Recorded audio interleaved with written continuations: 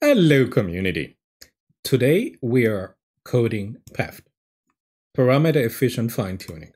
So we're inside the source code and a lot of you ask me, hey, what kind of things can we do with PEFT?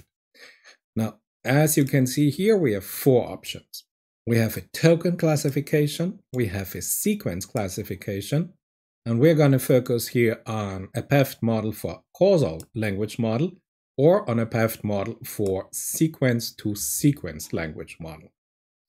And then, of course, there was the question, what methodologies does PEFT offer currently? And currently I'm recording at end of March 2023. So you can you see we have four options. We have LoRa, the low, the low rank approximation for matrices. We have p-tuning or prompt encoder we have prefix tuning, and we have prompt tuning. So those are the four methodologies currently implemented. And then there was a question about the target modules. Now, which target modules, now if we look at LoRa specific, can we do this mapping to? And as you can see here, here are our LLMs that we have, the T5, the multilingual T5, GPT-2, Bloom, Opt, from Facebook, GPT-J, GPT-Neo, BERT Roberta, then Electra, then here we have, of course, Llama, and other LLMs. Now, a lot of you ask me here about Llama, this model by Meta, and how to do here on the Llama model here, LoRa. Now, let me show you, and there I would like to introduce you another great YouTube channel by Sam Witteveen. Have a look at his video. He is doing here, for example, fine-tune your own Alpaca 7 billion parameter model. And you see when he looks here at the tokenizer of the model, all, and I've watched 10 different implementations, all refer to this specific model that they download from Hugging Face the Decapoda research llama Hugging Face model that has been optimized by somebody we don't know. And it is amazing. I have not seen a single implementation that is not by this particular model. So now, this is the reason I do not show you this, because I do not want to use something. I have no idea who is it that put this on the internet, what exactly happened in the background. Can I trust those people? I have no information about this. So, but uh, Sam tells us that he himself, he looked here at this specific GitHub repository. So it is T. Lowen, this is Eric J. Wang from Stanford. And if you want to do on the Llama model by Meta AI, you want to do Alpaca LoRa, then from all the implementations, I would highly recommend this to this implementation here and either you go with the generate Pi file here, this is simply the inference you want to do, or if you want to fine tune it in addition, you go with the fine tune file here. This has by far from all implementation I've seen for Alpaca LoRa based on Llama, the best coding. Let's have a look. Let's go to generate. You see here, yes, yes, yes. But you also, even he he uses here this Decapoda research. So normally you would go to uh, Meta, you would fill out the form, you would request access to the weights because the weights are proprietary, they're not open source, and you have to give your name, your telephone number, your email address, what you want to do, your publication in the area, and then Meta will decide if you will provide you with the specific parameters for all these models. So I understand why they access here the resource somebody put on the internet. But if I don't know it, I would not recommend to do it. But the code implementation, very, very nice. I would take this one. If it has to be Llama, then I would definitely recommend here T-Lowen Alpaca LoRa. Beautiful. So back to our topic. Now, of course, we want to code something, and as you can see, Llama is just one of the model we have here.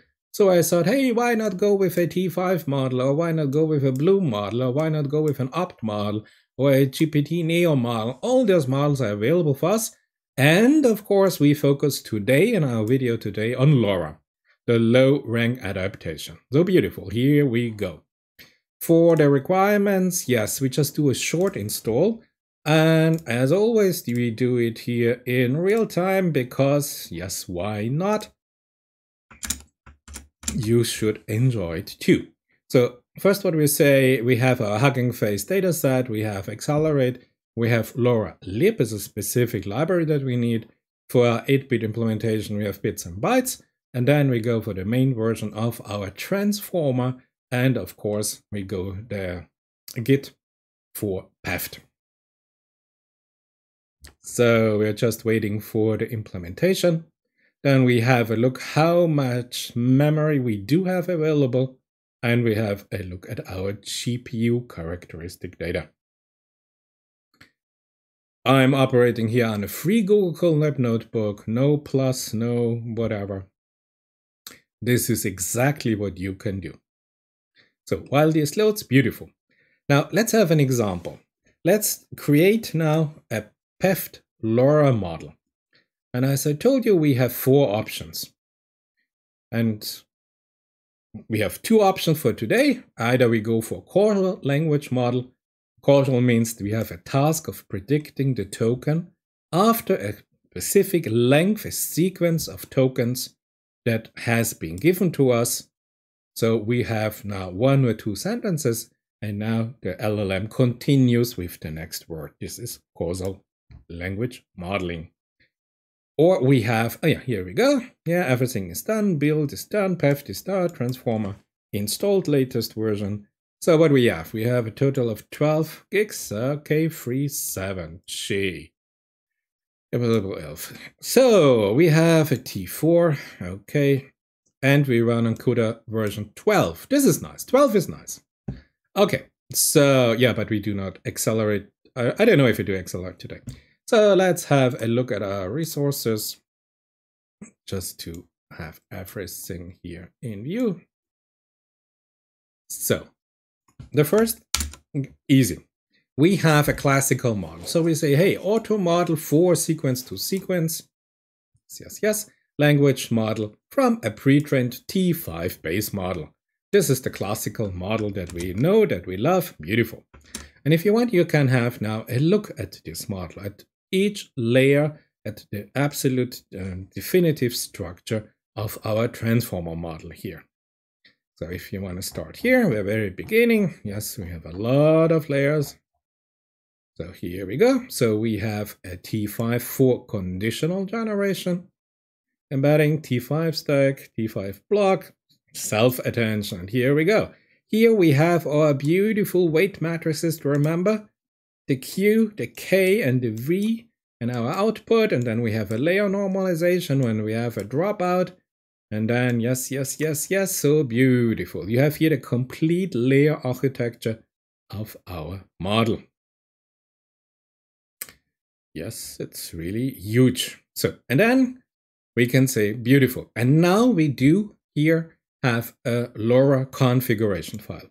Now this LoRa configuration file, the first task is easy. What method of PEFT from our four methods do you want? We go LoRa. Second is, what you want a causal or do you want a sequence to sequence? We have a T5, so we are based on sequence to sequence.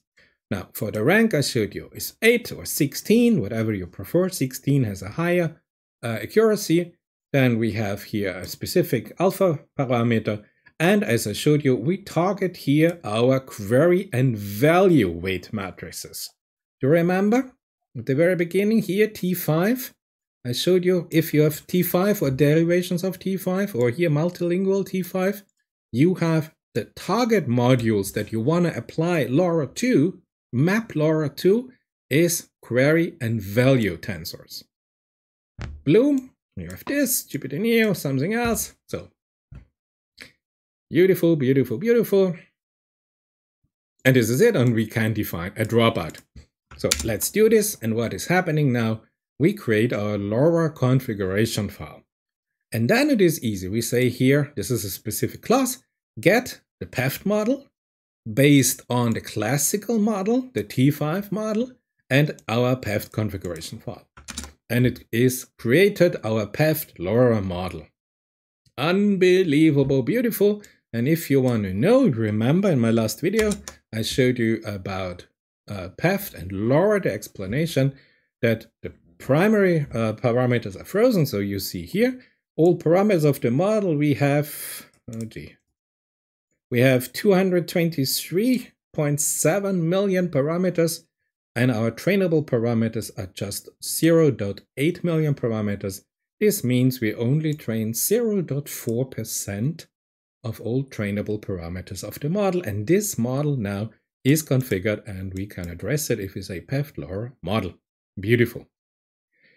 Yeah, you can have now, of course, now a look here at the modified layer structure.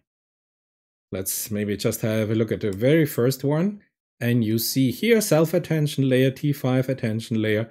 And before we start, you see here, as I told you, we focus now on the query layer and on our value layer. That here we have now in the query layer, we have now yeah, the dropout, and then we have here a linear layer from LoRa and another linear layer from LoRa. So beautiful. So you can have a look at the architecture of the LoRa model now in detail. You know what's going on. If you have watched my latest video, beautiful. Now, if you want to take another example, very easy. So you say again, you take now an MT5 or MT0 a large model from Big Science. You do exactly the same. It does not depend on a specific model. If it's in the category of T5, it runs you have here now auto model sequence to sequence language model from pre-trained. You have your LoRa configuration file. You define the model and you can say, what are the trainable parameters in this case? So you download, of course, the normal Big Science MT0 large model that has been trained. It's based on a T5, multilingual T5 and the zero indicates it has been optimized for zero shot learning. So we download this module and then with our LoRa config file, we generate our PEFT LoRa model. And while we are waiting that it is downloading the 5 gigabytes, yes, beautiful. Come on, faster. Oops. Come on, come on, come on. Faster.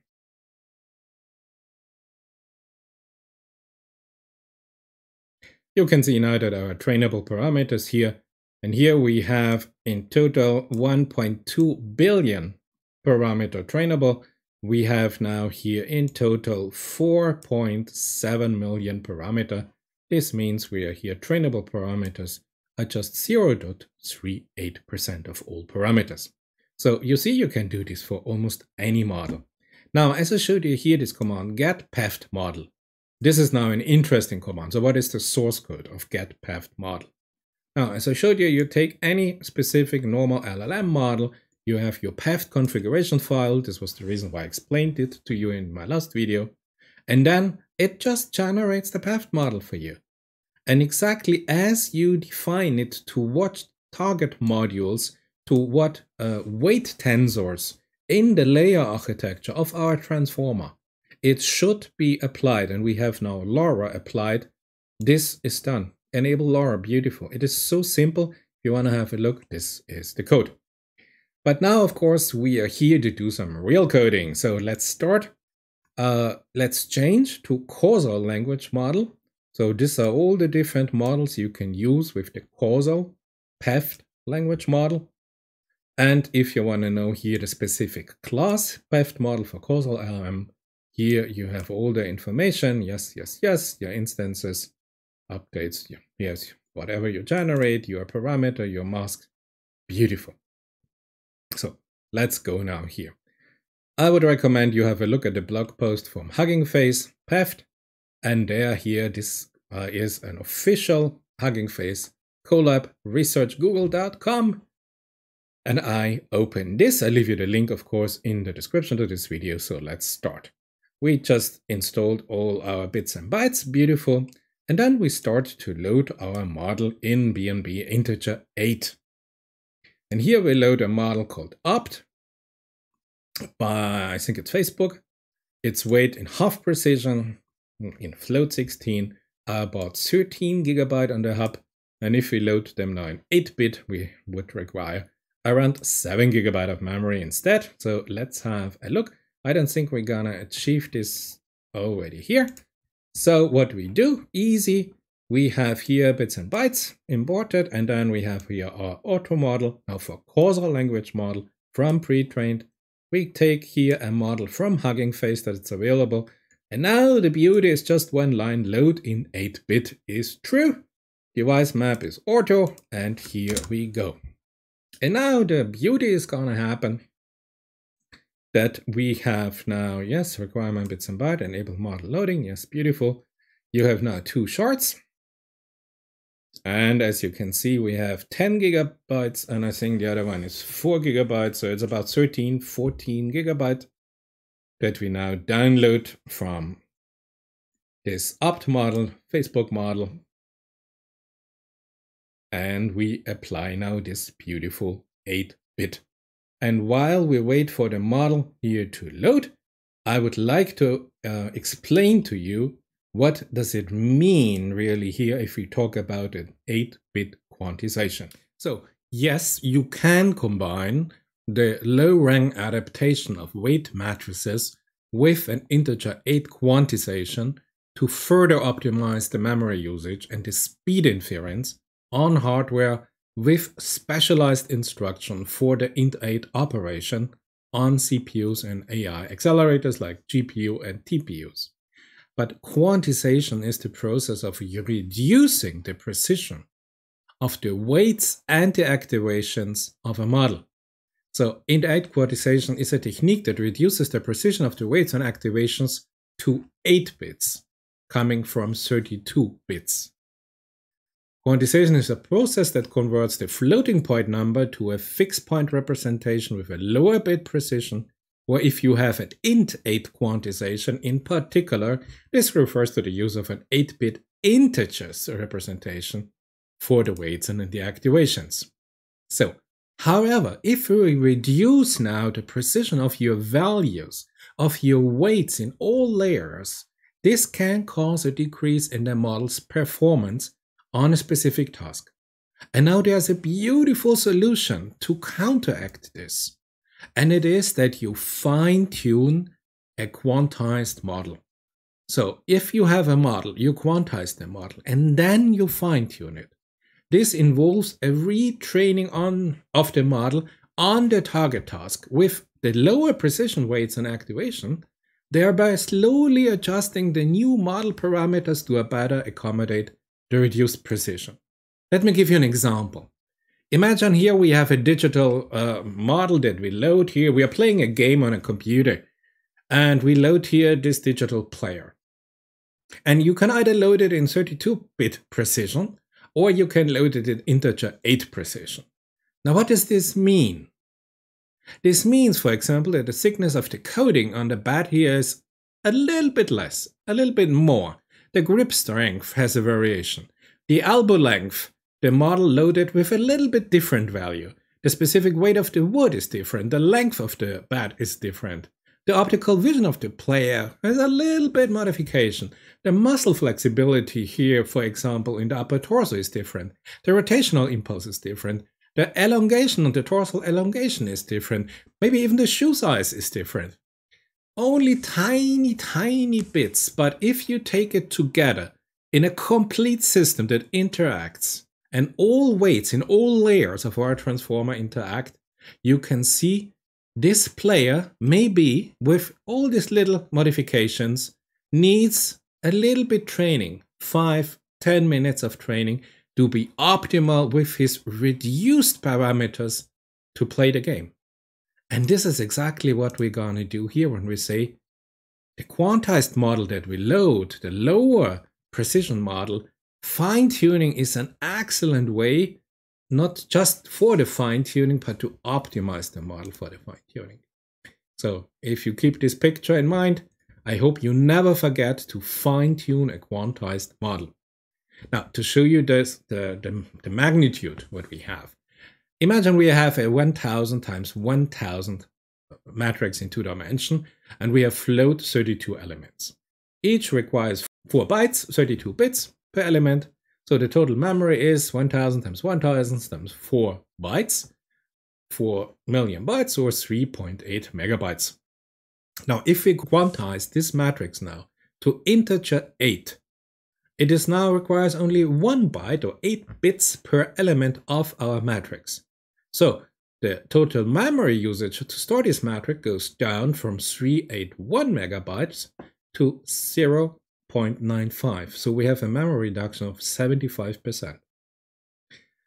Now, there are now a lot of variations. So just to remind you, an 8-bit binary number, like this here, is an 8-bit binary number, represents, for example, the decimal number 214. And you remember with 8-bit, maximum is 255. Now, 16-bit integer are more powerful. It can represent values between 0 and 65,000 for unsigned integer. And then we have, of course, float 16.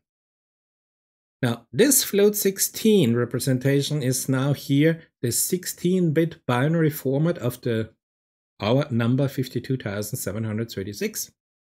And you remember we have one leading bit for the plus minus.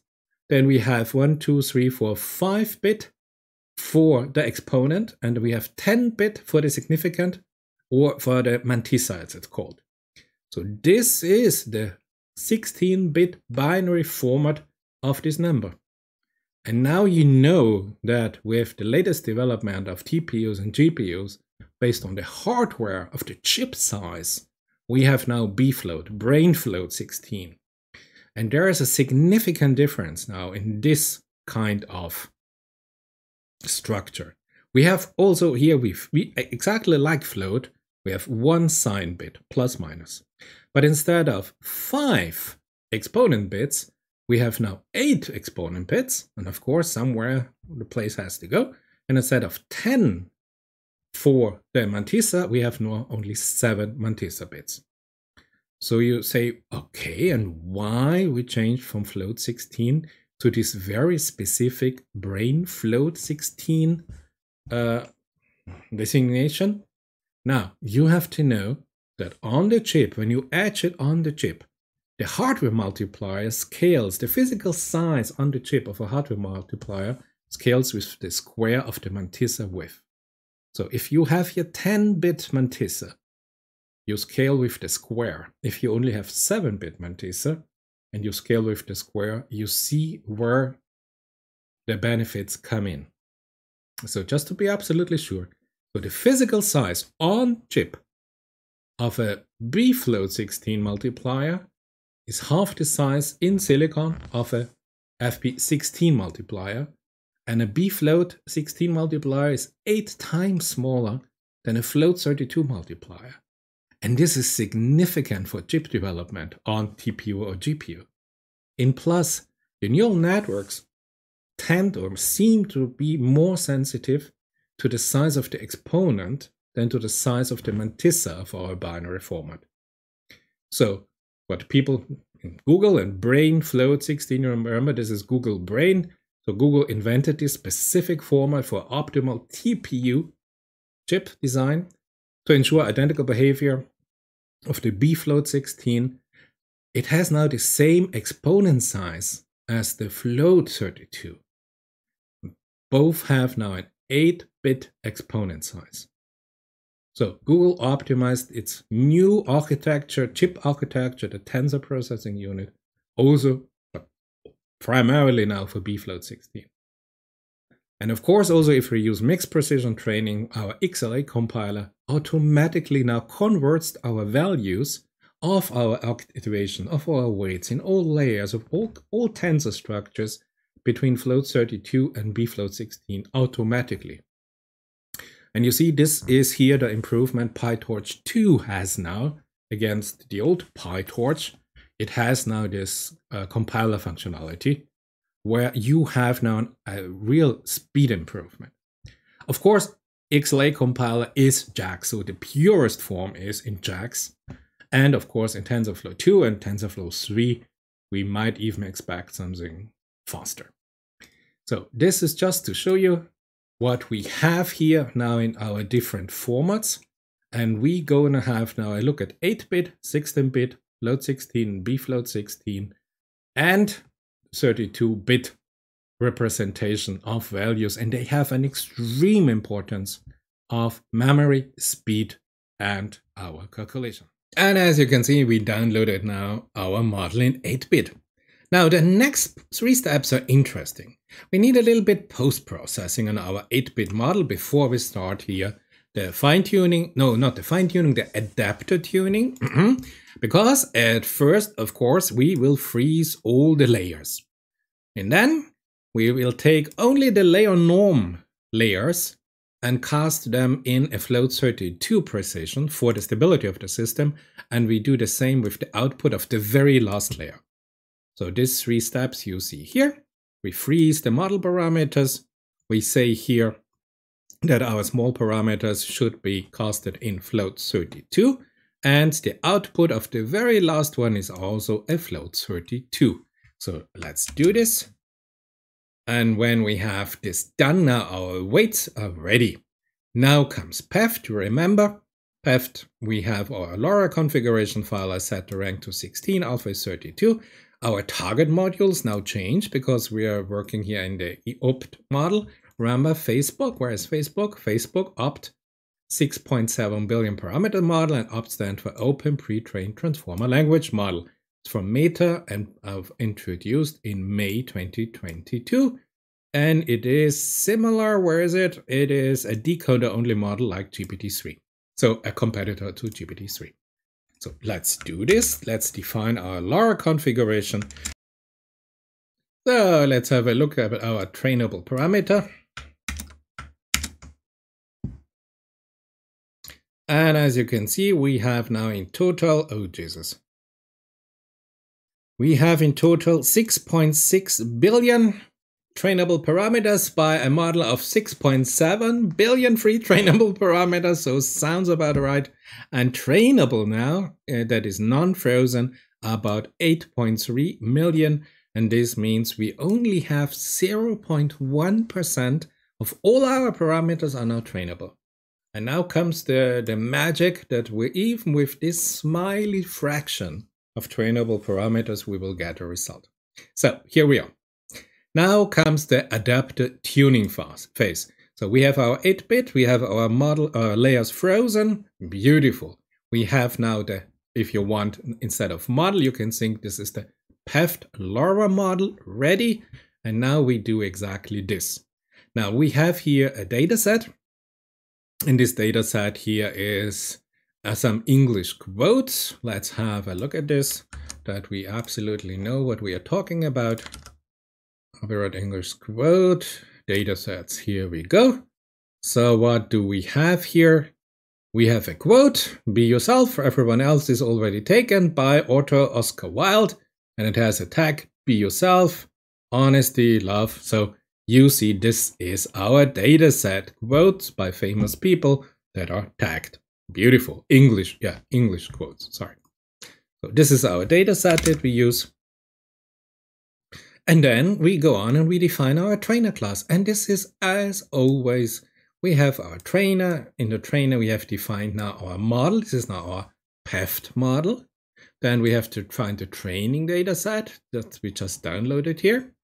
Then we have to train an argument, the arguments. And we have here a batch size 4, accumulation size 4, warm-up steps 100 is quite a lot of, huh? 30. Max steps 200, learning rate FP16. Remember, we are working here on a Tesla T4. There's no brain float, there's FP16. Uh, logging steps 1. And everything should be written in our output directory that's called outputs. And our data collator is here already defined. And then we say model config use cache silence for the warnings. Beautiful. So here we go we define here our parameters for the trainer class. And then comes the moment when we start here our adapter. We do here our adapter tuning. Sorry, not fine tuning, but adapter tuning. Jesus. So And here we go. Yes, GPT-2 tokenizer fast. Yes, in Rust. Yes, I know. Task, okay, no problem at all for me, if you can do it. GPU RAM 8.4 of 15 gigabytes should be fine. We have three, no, we have 200 steps. Okay. Step one, training loss. Oh gee, 200. So it needs about half an hour. Should I wait half an hour? Should I show you the result? Yeah, why not? So for you it will be a second and I will be back with you in, oops, in 40 minutes. Okay, see you in 40 minutes. So, as you can see, after 36 minutes, we are back and we finished here 200. And if you look here at the right side of GPU RAM, my goodness, we were really close to crash here again. So now the nice thing is we can say, hey, model, save our pre-trained, and we define here a directory. So let's do this. And if we do a refresh, we have now an output directory and there should be two files in this output directory. Exactly. There is a JSON file and the adapter file, and this has only 32 megabytes. So this are here the trained adapter weights. And this is exactly what you need if we want to reload this a little bit later. But before I show you how to reload it, let's just do some inference task. We have now this beautiful PEFT LoRa model, this evolved opt model.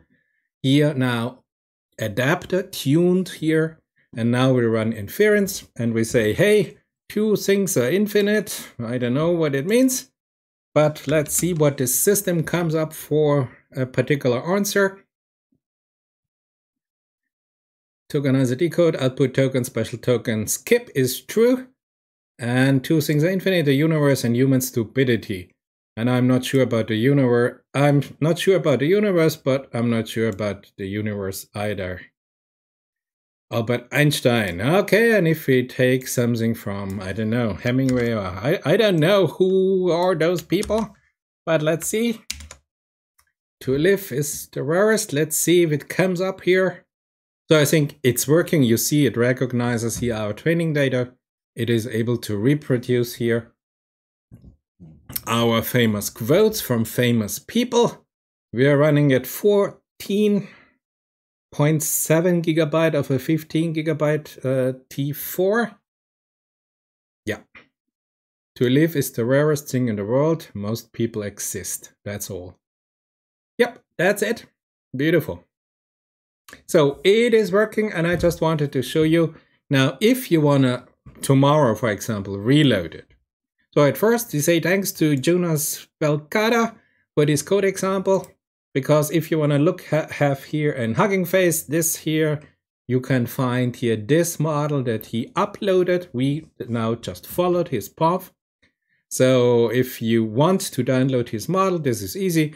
You say import torch, import PEFT, import our transformer.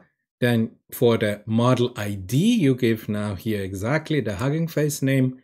And then exactly, you have the PEFT configuration file, you have your classical uh, causal model from pre-trained, and then you just load the LoRa model with PEFT model from pre-trained. And here you have the classical model, and here you have the PEFT model ID. And this is it. And just to show you that it is working, let's call this now PEFT model 2. And here we go. Yes, I know model my Yes, yes, yes, I know this. And here now I say, this is here my directory. So let's say that there's no problem at all. Model 3. Model 3. Make sure you have enough GPU RAM. I do not have enough GPU RAM, as you can see, I'm limiting, so I do not have enough memory to load it again. Okay, so this fails for this particular reason, but anyway, you see how it works, what we can achieve. We achieved some inference run, this is beautiful. And the next coding session, I think, we will start in a new video and then I will show you another way how to do PEFT models. I say thank you. Yes, we just delete here this output. Yes, it was so beautiful. I hope you enjoyed it. I hope you learned a little bit, had a little bit of fun, and I see you in my next video.